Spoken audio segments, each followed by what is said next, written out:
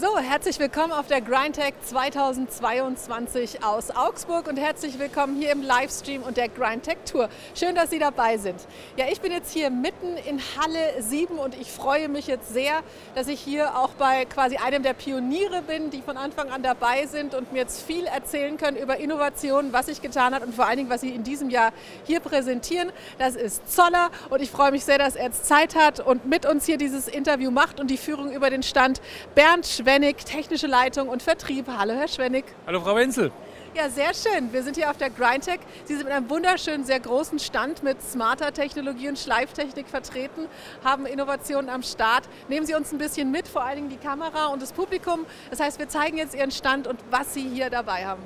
Sehr gerne. Freuen uns, dass wir die Gelegenheit haben, Ihnen jetzt, die hier nicht live anwesend sein können, dort ein paar Innovationen zu zeigen, was Zoller auch jetzt auch in dieser ganzen Corona-Zeit äh, aktuell wieder weiterentwickelt hat. Und was wir hier im Hintergrund sehen, ist im Grunde genommen die neue Geräteserie der Universalmessgeräte.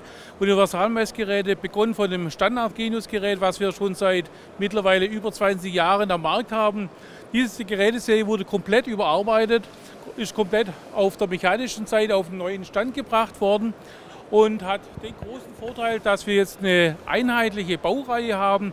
Eine einheitliche Baureihe, angefangen vom, vom Genius äh, Standard mit, für Standardfunktionalitäten, dann mit dem Threadcheck-Gerät, wo wir auch die Möglichkeit haben, auf für Gewindewerkzeuge speziell verzerrungsfrei messen zu können. Das heißt, der Optikträger schwenkt auf die Gewindesteigung ein, sodass die Werkzeuge komplett auch Gewindewerkzeug komplett vermessen werden können. Einschließlich auch solche Parameter wie äh, Flanken, Flankenhinterschliff und was sonst an Gewindewerkzeugen äh, zu messen ist. Des Weiteren haben wir hier unser neues Titanmessgerät, speziell hier ausgestattet, auch noch, wenn die Kamera vielleicht gerade mal reinschwenken, mit einem Streifenlichtsensor, um, wo, um zusätzlich zu den Standardparametern in der Außengeometrie, im Auflicht wie Freiwinkel, Spanwinkel, die ganzen Parameter der Stirngeometrie, auch solche Parameter wie die Steigkantenpräparation vollautomatisch zu vermessen. Und was, wenn wir mal über die ganze Baureihe hinweg schauen, was auffällt, wir haben hier eine einheitliche äh, Bauform und diese Bauform wurde speziell designt, um diese Geräte auch in eine Automation zu integrieren. Das heißt, wir haben die Möglichkeit, entweder bereits bei der Neuinvestition, bei der Beschaffung von so einem Messgerät, äh, dieses Messgerät in die Automation zu integrieren oder auch bei Bedarf zu einem späteren Zeitpunkt. Das Mess, die Messgeräte sind so vorbereitet, dass eine spätere zusätzliche Möglichkeit besteht, auch eine vollautomatische Zelle für eine 100%-Kontrolle zu ermöglichen. Das heißt, für Sie der große Vorteil, Sie müssen sich nicht heute für irgendein komplettes System entscheiden, sondern Sie beschaffen heute das Messgerät, das Sie benötigen. Und wenn Sie den Bedarf haben, beispielsweise in zwei Jahren eine komplette Automation für eine 100%-Kontrolle zu ergänzen, können Sie dies jederzeit zusätzlich tun, ohne dass jetzt ein neues Messgerät braucht, sondern auf der bestehenden Gerätebaureihe. Was? Sehr clevere, smarte, nachhaltige Serie auf jeden Fall. Die Genius, die Sie hier auch direkt präsentieren, wenn man auf den Stand genau, zukommt. Genau. Ne? Wir haben hier einfach ein universelles Messgerät, das wir ja, mittlerweile in der Grundform schon seit zwei Jahrzehnten am Markt ist, komplett überarbeitet. Hatten natürlich auch zusätzliche Wünsche von Kunden, von, auch von unseren eigenen Servicetechnikern mit äh, einfließen lassen, sodass wir jetzt wirklich das, ja, wenn so sagen, das beste Genius aller Zeiten am Markt haben. Merken, der Kameramann ist hier ziemlich in Action. Das heißt nämlich, der Stand ist noch viel größer. Und Herr Schwenning, vielleicht gehen wir ein paar Schritte genau. mal quasi hier Richtung Norden und schauen mal, was... ja, was wir als nächstes zeigen möchten, ist das neue Mi Focus Messgerät wo wir gerade beim Bifocus-Messgerät jetzt die, die Möglichkeit haben, nicht nur die Schneidkantenpräparation zu vermessen, sondern zusätzlich auch Oberflächenparameter. Genau, und da haben Sie ja auch noch einen Kollegen, Sebastian Riesner, Produktmanagement Messtechnik, stößt jetzt zu uns und ich würde mal an ihn übergeben an der Stelle, aber Sie bleiben bei uns. Ne? Ich bleibe bei Ihnen und kommentiere vielleicht noch ein bisschen was mit. So, also wir erweitern unsere Runde hier um äh, Sebastian Riesner und Sie führen uns jetzt hier in die nächste Einheit ein. Was ist das genau und was möchten Sie quasi den Zuschauern hier mal vorstellen und zeigen an Innovation auch? Was Sie hier sehen, ist das Mi Focus. Mit diesem Fokus können wir heute ähm, die Rauheit und die SKP-Schneidkantenverrundung vermessen an Werkzeugen wie Bohrer, Fräser in der Stirn. Ähm, einmal im konfokales Messsystem haben wir einen Arbeitsabstand von 30 mm. Somit können wir auch bei dieser Rauheitsmessung in diesen Nutenkern halt gut eintauchen und dort messen. Ähm, was hier die Besonderheit ist, wir haben alles in einer Software. Wir können in jedem Modul von der Schneidkantenverrundung wie in die Rauheit ganz einfach und schnell wechseln. Was hier der große Vorteil ist, wir haben eine berührungslose Oberflächenvermessung, bedeutet taktil, also keine taktile Vermessung. Und ich bin einfach schnell über drei Klicks durch.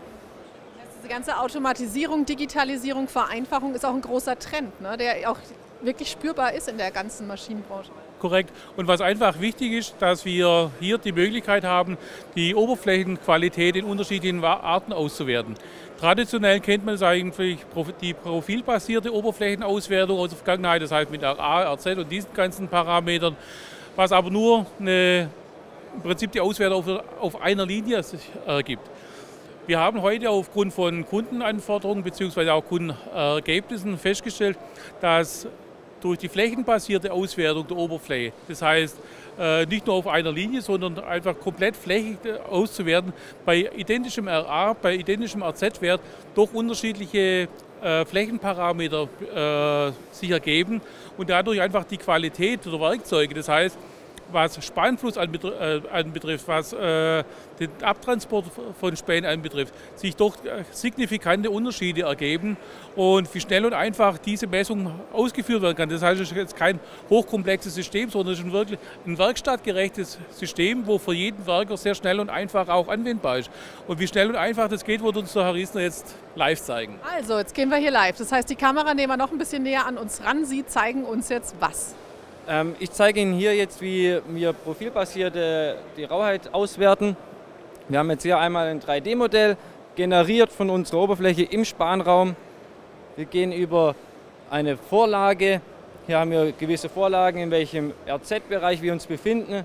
Wählen hier unsere Grindtech 2022 an, gehen auf Komplettauswertung und es wird Schritt für Schritt ausgewertet, bearbeitet und erhalte im Anschluss in den Ergebnissen ein topografisches Höhendiagramm sowie meine Messstrecke mit meinen einzelnen Rauheitskennungen oder auch meine Materialanteilskurve.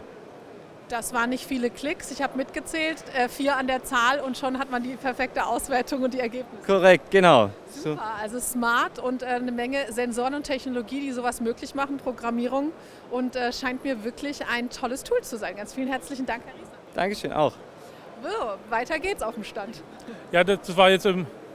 Wir bleiben noch mal. Ach, wir bleiben noch hier, okay. Noch hier. Ich gucke mich hier nur so um, es ist noch so viel zu entdecken. Ja, es sind natürlich viele Dinge, die, die äh, bekannt sind, aber was, was mich einfach nochmal auf das auf die äh, flächenbasierte Auswertung kommen, dass wir uns das vielleicht auch noch mal kurz anschauen, weil das ist wirklich das absolute Highlight. Das, was wir soeben gesehen haben, die profilbasierte Auswertung, ist das, was eigentlich der Fachmann aus, der, aus Jahrzehnten her kennt. Und der, der große Vorteil ist einfach, dass wir hier die ganzen Messen optisch ausführen, nicht taktil wie in der Vergangenheit. Das heißt, wenn ich sensitive Oberflächen habe, äh, befindliche Oberflächen habe, dann äh, besteht hier keinerlei Gefahr, dass ich diese Oberfläche beschädige. Und das ist ein absolutes Novum.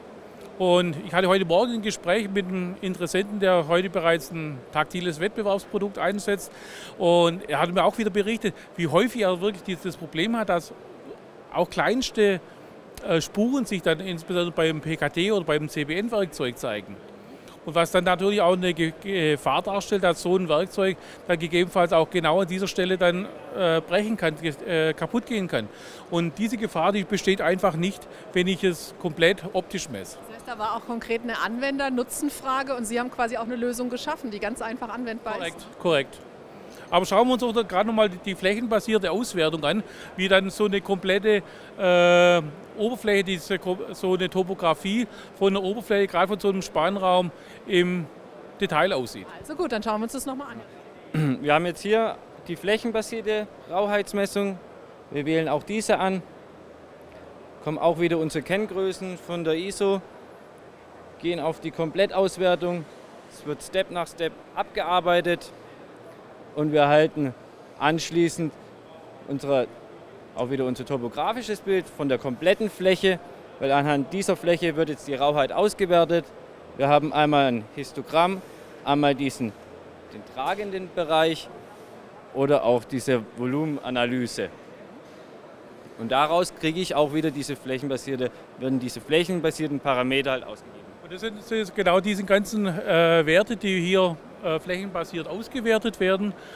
Zu dieser flächenbasierten Auswertung sind momentan auch noch gar nicht so 100 Prozent diese äh, Normen vorhanden. Das sind Normen, die momentan erst im Entstehen sind. Das heißt, diese flächenbasierte Auswertung von Oberflächen ist ein im Grunde genommen momentan noch ein Stück ein Forschungsfeld, wo wir auch mit verschiedenen Universitäten zusammenarbeiten. Wir wurde jetzt auch eine neue Doktorarbeit am PTW in Braunschweig. Also das gab es vorher noch gar nicht. Nein. Und keine Normen da sind, keine Werte, Vergleichswerte, gab es nicht. Ne? Es ist, diese ganzen Dinge sind momentan alle im Entstehen. Die Technologie, flächenbasiert auswerten, diese Notwendigkeit, die kommt mehr und mehr, weil jeder weiß, dass die profilbasierte Auswertung einfach ihre Nachteile hat. Aber man kennt es natürlich seit Jahrzehnten. Und das ist so eine Thematik, flächenbasiert Oberflächen auszuwerten, wo in, ich möchte mal sagen, 80 oder 90 Prozent der Verantwortlichen noch gar nicht angekommen ist. Wo noch gar keiner weiß, dass es überhaupt diese Möglichkeit gibt. Ich nutze immer so ein schönes Wort, kein Mensch weiß, was er nicht weiß. Und genauso ist es natürlich auch mit der, Oberfläche, äh, mit der o äh, Oberflächenmessung, mit der flächenbasierten Oberflächenmessung. Und was einfach die ersten Ergebnisse, wobei erste Ergebnisse, wir arbeiten hier auch schon seit Jahren, das muss ein bisschen vorsichtig sein, äh, ist tatsächlich so, dass, dass hier äh, Werte ermittelt werden, Dinge ermittelt werden, an die man vorher noch gar nicht gedacht hat. Also diese flächenbasierte Rauheitsvermessung wird meiner Meinung nach wirklich nochmal ein Innovationssprung, insbesondere bei der Entwicklung von neuen Werkzeugen sein. Also Werkzeuge brauchen das, welche Sektoren, Industrien, Branchen brauchen das auch noch am dringendsten? Überall, wo zerspannende Fertigung erforderlich ist. Aber das geht doch darüber hinaus. Klar, wir beschäftigen uns natürlich in erster Linie mit, Werkzeugen, aber das Thema geht auch, äh, geht auch weiter in, äh, in wenn man medizintechnische Produkte. Das heißt, wenn es in Richtung Teilevermessung geht, an Kunststoffe, an Gummi, an Dichtungen, es gibt eigentlich, wir haben jetzt äh, nächste Woche beispielsweise einen Kunden bei uns im Haus, da geht es um, ein großer österreichischer Schmuckhersteller, da geht es darum, äh, Schmuckstücke zu vermessen, 3D-gedruckte Schmuckstücke, wo die Oberfläche ausgewertet werden muss. Und das ist einfach mit dieser konvokalen Messtechnik möglich, was wir, was einfach vor ein paar Jahren noch gar nicht gab. Und das ist ein, ein neuer Sensor, der bei uns im Haus entwickelt wird, und der uns ja wirklich ganz neue Möglichkeiten äh, schafft oder ermöglicht. Also es klingt wirklich spannend und da sind Märkte da und Industrien, die das brauchen und die es noch gar nicht wissen. Noch gar nicht wissen, wie Sie schon sagten. Ne? Genau. Aber spätestens jetzt, wenn Sie es mitbekommen haben. Ähm, ansonsten ein ganz anderes Thema, aber sehr auch schön. Wir treffen uns wieder physisch. Wir sind wieder live hier im Frühjahr 2022 auf einer Messe. Wie wichtig ist sowas auch im Austausch mit Kunden und äh, mit den Branchen, dass man auch wieder wirklich face-to-face -face, äh, letzten Endes solche Dinge erklären kann und in die Geschäftsanbahnung auch kommt? Also meine ganz persönliche Meinung, eine Live-Messe, eine Präsenzmesse ist durch nichts zu ersetzen. Ich, sage, ich, auch, ich rede gerne mit Kunden, ich rede gerne mit, mit Ihnen und es ist einfach eine Freude, einem geht das Herz auf, wenn man einfach wieder live auf der, auf der Messe sein kann, mit Kunden direkt interagieren, mit Kunden sprechen. Klar, wir haben in den letzten zwei Jahren sehr viel gelernt, was digitale Medien anbetrifft, mit Online-Präsentationen, aber ja, Menschen leben von Begegnungen. Und was man live ansehen kann, manche Dinge muss man einfach wortwörtlich begreifen, in die Hand nehmen, anschauen. Absolut. Und, und dann ist eine Messe, es gibt keine bessere Möglichkeit. Super, Herr Schwenning, ganz vielen herzlichen Dank, dass Sie uns hier mitgenommen haben, hier zu Zoller. Erfolg ist messbar, also hier ist wirklich spannend, das alles zu sehen und zu betrachten. Wir hofften, Sie hier auf der Grindtech Tour ein bisschen mitgenommen zu haben in die Welt von Zoller, in Ausstellungen und Innovationen und Dinge messbar zu machen, wo Sie noch gar nicht wissen vielleicht, dass es für Sie auch wichtig ist und relevant ist für Ihr nächstes Business. Also insofern, wir laden Sie ein hier auf die Grindtech und ansonsten Kontakt natürlich über die Webseite, LinkedIn. Genau, www.zoller.com Info. kommen Sie auf uns zu. Sie sind auch herzlich eingeladen zu uns in die Smart Factory, in unseren Showroom. Auch wenn Sie nicht persönlich äh, kommen wollen, wir haben die Möglichkeit auch von Online-Präsentationen. Wobei herzlich einladen an jeden Einzelnen. Nehmen Sie mit uns Kontakt auf. Wir sind gerne für Sie da. Vielen herzlichen Dank und wir sagen Tschüss von der Grindcheck aus Halle 7. Tschüss.